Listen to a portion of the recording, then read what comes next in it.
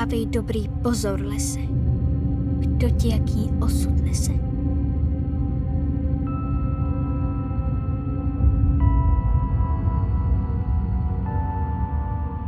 Přichází-li člověk vlídný, mírný buď a zůstaň klidný. Bezlém vstupuje-li k tobě, zlem mu oplať stonásobně.